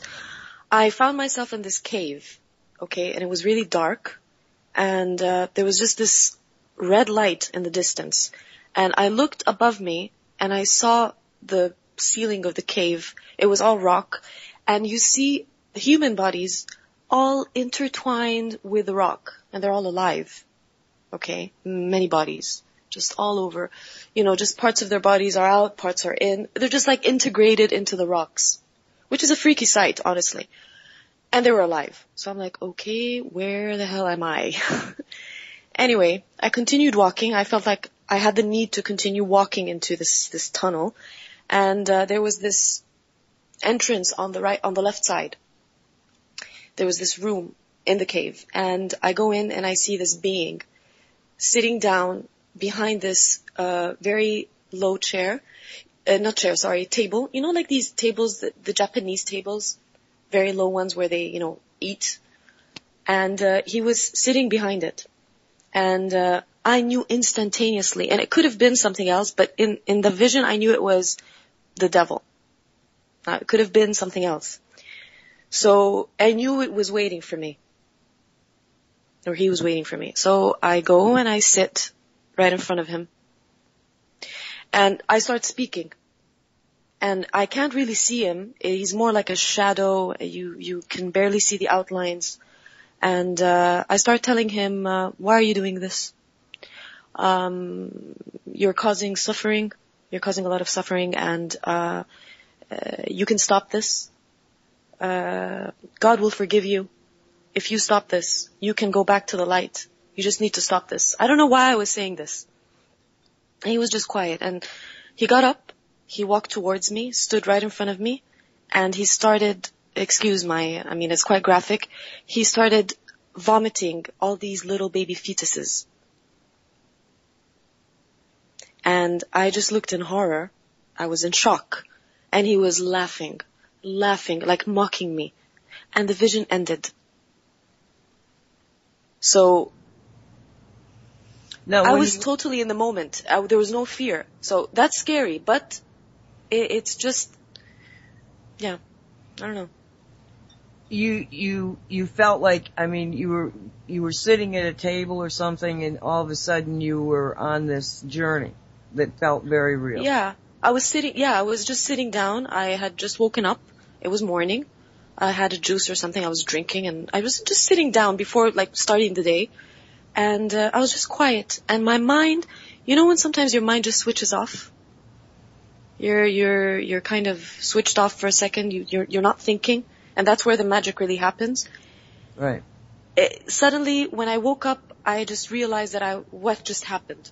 And then I continued my day. I didn't really think about it too much. But in that period, it, my third eye was very open because I, there was a lot going on in that period, um, spiritually. So that was just what, one of the experiences. Did you, what did you take away with you from that? What did you, what was your interpretation? You didn't think about it, but now over no. years, it comes back to you and do you have anything other than, mm, interesting? I still can't figure out exactly what that was. I mean, I, I've heard interpretations from different people, but nothing really made sense to me. You know, you don't, you know, when someone tells you something and you feel, mm, no, doesn't make sense. But I still, there were people that said that, for example, it could be you, you know, that's your darker side. Uh, other people said it was, uh, actually your, I don't know, uh, your uh, higher self showing you something, uh, different things, but it just didn't make sense. So, um, I am yet to find out what it meant. Uh, but I definitely went, it was a journey. And now I understand when people say, you know, you get out of your body, I, I understand what it means. Okay, I think that what it was, was a memory that you were seeing mm-hmm. as a, as a, uh, it wasn't, it was sort of like a remote viewing in that all of a sudden the memory is calling you back to the exact moment in time where you had a confrontation like that that you interpreted that way but my feeling is, is that it was your, in this, not in this lifetime, but it was a, un, it was the moment you went, oh my God, aha. It's, we call Oh. it aha moment. Yeah. When you, for the first time in your existence, confronted total evil. Yeah. Well, it's interesting because um, it could be linked to something that has to do with um, a past uh, life that I have um, in regards to the reptilians. Exactly. Because, uh, yeah, because mm since I had my uh, session with JP, and you know everything, nothing is a coincidence. Something opened up. Something definitely opened up, and I knew I was ready. And and before meeting JP, before speaking to JP the first time, just a few months before I, I excuse the noise. I'm sorry. Um, the uh, the I, I've been having some very strange encounters that have to do with Jesus. Very strange encounters. Um, I felt the body of Christ. Uh, this was in December. Um, it has nothing to do with Christianity. It was just pure connection with Christ, Christ consciousness. Um, and uh, I dreamt of him. I've dreamt of him before, and there was just this very strange period where I was having these very this this just this strange connection. It just felt very weird, and uh, and I kept hearing something telling me, "Soon it's time. You've been patient. Soon it's time. Wait." So when I met JP and we had our session, uh, we went on a journey and it was very enlightening. And then after that, I kind of opened up to myself. I started becoming more creative again because I'm a very creative person. I love creativity, but for a long time, because of all that I've been through, I've been really shut down, too busy with the stress and trying to figure myself out and everything, um, which also has a purpose. Um, and then um, I decided to send, uh, you know, a, question, the first and only question that I sent on Simon Parkes' show, and uh, I said to myself, I am not going to contact Simon. I'm going to wait until uh, he invites me. I, I, I really said that to myself because you know maybe he's not the right person for me. You know, Simon. So I said I'm going to wait for the universe to invite him into my life kind of signing some sort of contract, you know, and uh, it happened. So he actually said, because Simon doesn't tell everyone, you know, um, just uh, contact me, you know, depending on the questions, and uh, he said, uh, let her contact me if you if she wants to contact me, we can have a session on a specific question that I asked. So that was my cue, and uh, since then we've met twice, Simon and I, and it's been mm, insane. I, I don't even know what's the word I can use because the things that he knows, I mean, I would be having a vision and the same day we would talk and he would tell me exactly the same memory. He would say, you've been through this, this, this, and he doesn't talk a lot. He says, I'm going to give you bits and pieces. I want you to figure it out yourself but he would give me only the information that I envisioned myself just a few hours before meeting him. So I, I can share this. I'm very open about it. I don't. I don't mind. I know that I'm. I have reptilian in me. I, I've known that for a long time because since I was a child, I've always been fascinated with uh, reptiles and dragons, and there, there's just something that draws me to them. Um, and uh, practically he said that there is a connection with uh, someone in that family that uh, kind of wanted to control me. And that's exactly the vision that I had. I won't get into too much detail, but he said exactly the same thing. He said, you've run away, and this is what I keep getting back in my memories. I keep hearing from this being, who is a very powerful one in, in the reptilian uh, clan. He keeps telling me you're a traitor. You left the clan, and I'm not. You're. you're I'm not gonna let you go. You're mine. And I'm like, what? What the hell is this? That's I'm crazy. You know, this is insane. And then just a few hours later, he tells me the exact same thing. So this could have to do with the vision that I had because it was really eerie. So Well, I didn't get into too much detail, but I'm just I no, no, no, overview. no, no. I love it. I love it. Um, my my own personal feeling about um, the reptilians is that they being on the sort of um, uh, the edge of the galaxy were in prime position to be affected first by AI, artificial Mhm. intelligence, and that as the AI is not able to progress in, in enlightenment and soul development, spirit development, it needs to conquest. It needs to go out. It needs to, you know, conquer Conquer. in order to grow. And the reptilians were the ones that were um, the first to be infected. Now you do this because A, they do have a history of being warlike and aggressive, and B, because of their unique uh, Uh, propensity to conquer themselves. They, you know, were always mucking around with star families and areas of the universe and so you've got a, a particular group of people, but I don't feel it's like this this feeling that I don't feel like the reptilians are my enemy. No. I feel like the reptilians were taken over first. And you might be having something on your mic because I'm hearing feedback from scratching on your mic or something. Okay, sorry. Yeah. Is this better? Yeah, thanks. Mm-hmm. Um, so, it, to, to me, what might have happened is that, um, because if you were a being of light and goodness that, that, that I felt, because I sort of, I sort of looked at you re- as a remote viewer, I can kind of like go back, I can follow you, like I do with Walt, you know? So, um, what I felt from, from what I was seeing was that you were of a very pure heart and couldn't even, even though you were theoretically seeing something that you, you were appalled by, uh, you walked right by it. You walked by the people that were trapped in, in the matrix. You walked by, you know, that awful image to confront what you believe was the devil or the incarnate or the, let's say the focus of evil and, um, attempt to heal, attempt to say, hey, look it, you know. But what I think was being demonstrated to me by this creature in the vomiting of all the fetuses Mhm. is transhumanism. You can't get Yeah. to me this way because it doesn't matter to me. There is, you know, fetus is not a problem. We don't need Yeah. them.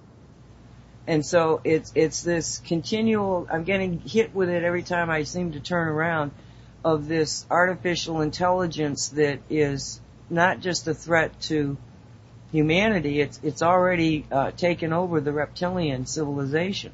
Yes.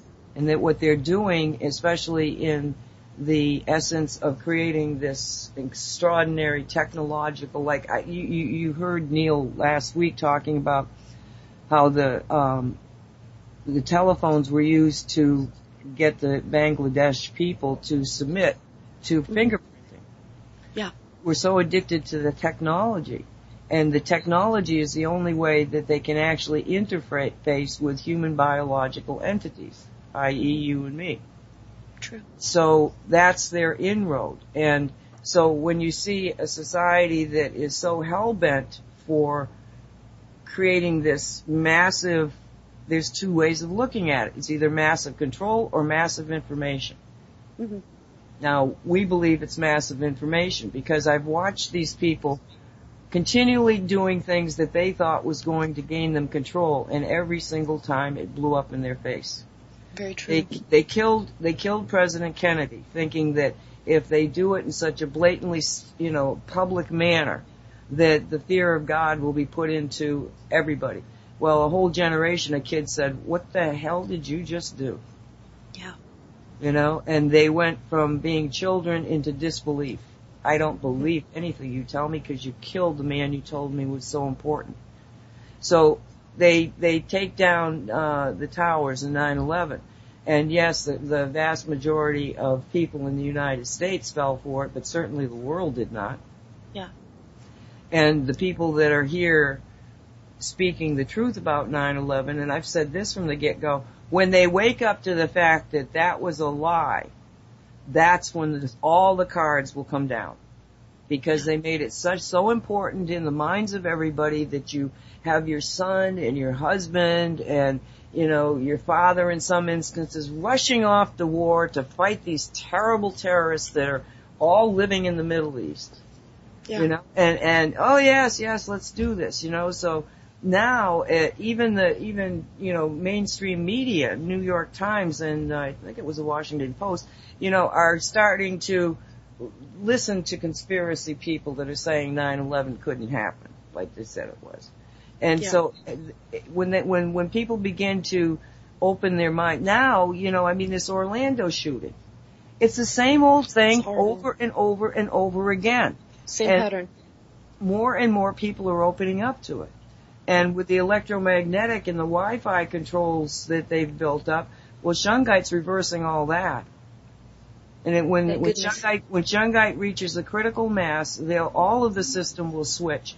Once that's that switches from the clock the counterclockwise rotation to clockwise, it's going to free the electromagnetic bodies all over the world called humans Yes. so they're not not being you know destroyed physically. Uh, I I don't know if you heard last night, but Yeah, I have. I have. It was a very interesting talk. Yeah, and I totally agree. it, when you see these pictures of this thermography, the the what they did for those people that don't know is that they um, Stephanie Dietz and um, Sharonata they they got a friend of theirs who has a the ability to use thermography, which is basically uh, the ability to look at a human body and see the hot spots.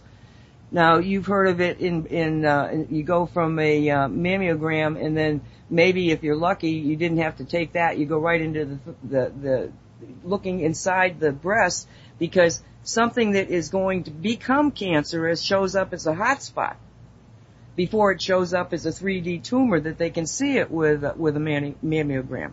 So all this thing does is to chart the heat signature in your body. Now this is heat, like cold, like heat. This isn't magic. This isn't anything but you know regular heat. And to see the pictures of uh, when she had the the phone up to her head.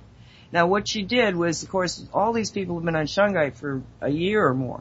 And so she's only used to the Shungite on the phone. And so it was like, to her physically, not, and mentally, it was awful because she, she's very energy sensitive and she could feel, you know, that this was terribly damaging. But they had taken everything off of her phone. She had it up to her ear. She makes a phone call and then they take a picture of what it looks like. And I mean, I saw the pictures last night and there's bright red from on, on the whole side of her face where the phone had been. It's all bright red. And then they had to, and they took pictures of her hand. Her hand that had been holding the phone was absolutely completely red. All right. Scary. Now, so they had, it took over 20 minutes for this woman to c- cool down. She, she was sitting under a fan. They were trying to get her cooled down enough so that they could now test, make the same test, but this time with the Shungite stickers on the phone and her wearing a Shungite pendant. 20 minutes before everything sort of bottomed out, because they had already taken a picture of her when she hadn't been, you know, exposed to this. And when they finally got the same look, that's when they then had her pick up the phone, but now it's got the sticker on it. She's got the Shungite pendant. She does the same kind of a call, same amount of time. And when they took the pictures, her hand was completely, it looked green to me, but Seth said in the actual picture it was more of a blue. Um, and, and in the middle of the palm there was a red spot. That's all. But her her entire hand had, had no, now no indication of heating, except for in the middle of her palm. That bothered me. I'm going like, what are we missing that we've got some red in the in her middle of her palm, you know? But eh, Yeah. regardless, we had cured, you know, no, you know, at least ninety percent of what was what had happened to her hand. And then the same situation in in her head. It was not red. There were red spots. But again, nothing, nothing like what it had been. Um, so it, it, to have that kind of uh, actual technical pictures of what Shungite is doing to free ourselves because these electromagnetic waves working counterclockwise are tearing us apart because our cells run and rotate clockwise. So you continually trying to tear your own cells apart because you're in a Wi-Fi environment. Now once that we get the shungite out there, it's enough of it out there that people begin to get balanced again, then all of a sudden they're again human. They're Yeah. in charge. And um, that to me is Gaia's gift. You know, the consciousness of Earth said, no, I've got something for you. This is going to change it. So the game plan of their control is now going to, you know, completely reverse and will be the control of the free thinkers. Yeah. So they built us a very nice platform upon which to have a massive impact on people. Thank goodness for that. Thanks to Gaia. I gotta Have get to you some shungite. You're, you're gonna just, I can't wait. I can't wait to get it. Uh, as I said, as soon as I get to Italy and I settle down, I'm definitely going to get it. it's, it's amazing. Absolutely, absolutely. Yeah, but but going back to the vision, this is maybe the first interpretation that makes sense. Because you were you're absolutely right. This was pure evil. And it could be AI. You, you can't have a soul connection and have that much evil. Exactly. You know? Exactly. Exactly. Yeah, it just felt completely de- like dead. There was nothing and no mercy, no compassion, just nothing. So uh obviously um So Yeah, it's interesting. It's interesting that you saw it as the devil because to me, yeah, let's forget about this uh, Lucifer, the the light being, you know, being the devil. The devil is is the opposite of life, which is AI. Yeah, exactly. Absolutely. Yeah, when you when you are become aware of AI, uh, you realize that it makes sense now because even if the devil, you know, was evil and all that, and but still he was a creation of God, there's still divine within within him. And Within that's why, evil. yeah, that's why your your talk didn't work. Yeah, exactly. Couldn't you couldn't connect because he doesn't have the he can't go back to light. He can't go back to source unless source is some computer geek out someplace in another galaxy. Exactly.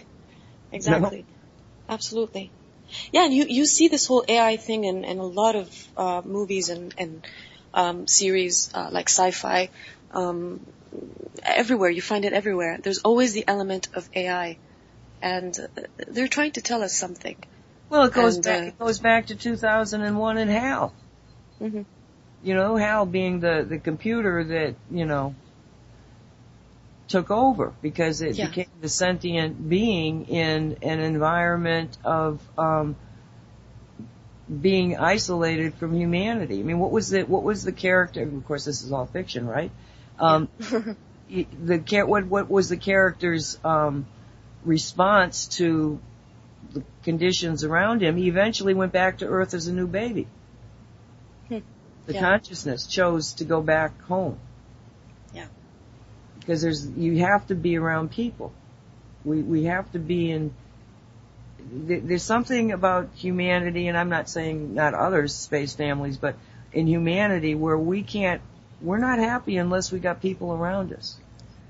Now, a lot of us like to live alone, but um, we have special friends. exactly. So, We're a social animal. yes, we are. So there's get- nothing wrong with that. No, no, there, no, that's a blessing. We're all in this together. Nobody gets left behind. No more sacrifice. Exactly. Um, it's getting to the top of the hour. Is there, first off, we're going to lose you for a couple of weeks or whatever because of the move. We don't know when you're going to be able to, to join us again.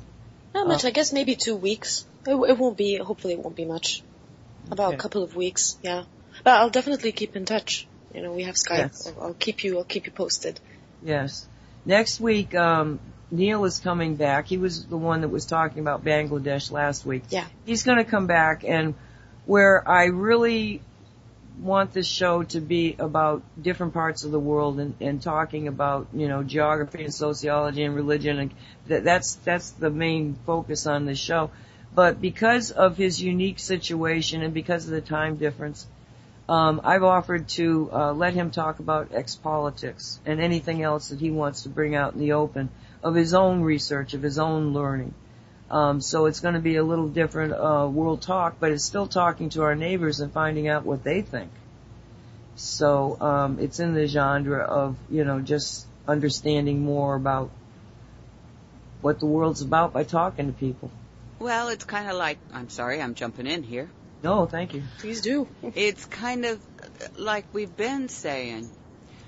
We're not any different, really, than anyone else anywhere else.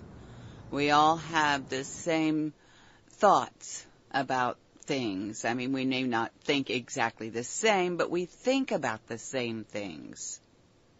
You know, exopolitics over there, exopolitics here, Australia, UK, everywhere.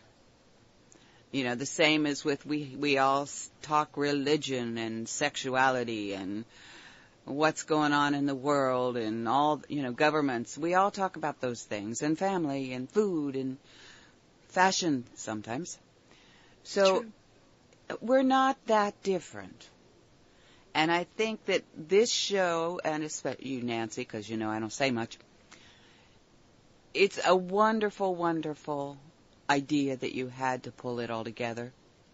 And I want to thank you for that, and I want to thank you, Nora, for being a frequent guest with us. Thank you. Thank you. Thank I you. I want to thank Nora for traveling all over the world to have so many great stories. you and me, you know, we live in a one one, one room here, you know. yeah. No, it's it's marvelous to to yeah. It, well, we couldn't do it without you, Colleen, because you know you said let's have a show at one o'clock. what are we gonna do? Yes. Thank you. Thank you for that. I appreciate the time, uh, you know, the, the time that you chose.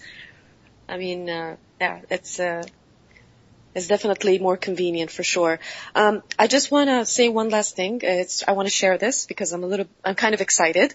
Um, after I settle down and, you know, I'm, everything's okay in, in Italy, I am going to go to Edinburgh for a few days. Uh, because I'm I'm doing a course, um, and most probably I am going to go down to Whitby to meet Ah. Simon.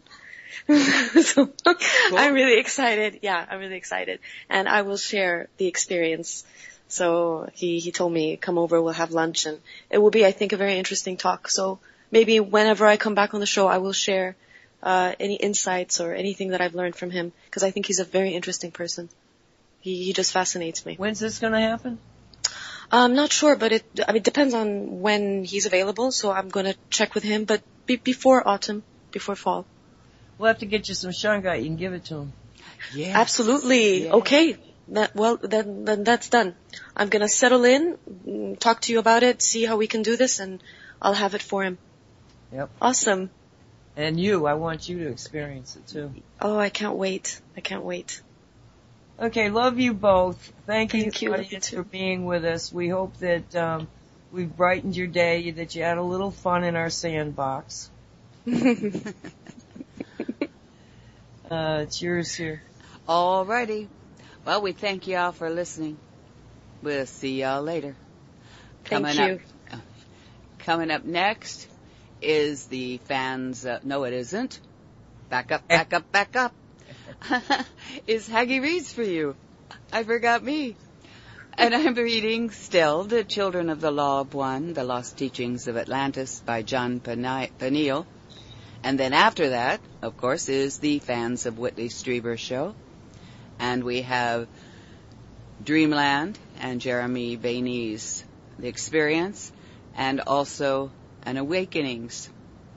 So Nancy and I probably won't get a chance to speak of it later, because it's going to be about, mm, I don't know, maybe three-ish hours.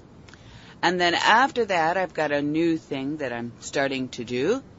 Uh, Awake Radio's Devon, uh, also known as Skystreak, s- is sending me pods of their show, so I'm going to be playing that uh, at 9 o'clock Eastern Time. That's 6 o'clock Pacific Time. And that's a two-hour show, and that's their show is called Rise and Awakening, so that ought to be interesting. And that's in an Australian uh, radio station. Well, they have uh, Awake Radio US, Oh, do they? Oh, UK, and Australia. So cool. uh, they have some interesting things on there, and I thought, you know, we are wanting to network with other stations, with other people who have something to say. We want their voices heard as well. Right. So I'm going to be bringing in some of that as well. Excellent. And with that said, I will. Just let me say one more thing. Nora, have a great trip. Be safe. Thank you so much. Thank you. Be safe. Uh, you know, you, you start in the first part of a next part of your life, and it's just so exciting. Plus, we Yeah. get to learn about Italy, Colleen. I know. Love you guys. I love Bye. you Love too. you too. Bye bye. Be safe. Be safe. Nice. Be Good safe. Bye. Thank you for visiting. You have been listening to World Talk with Friends, a Haggie Shack radio production simulcast over the Wolf Spirit Media Network.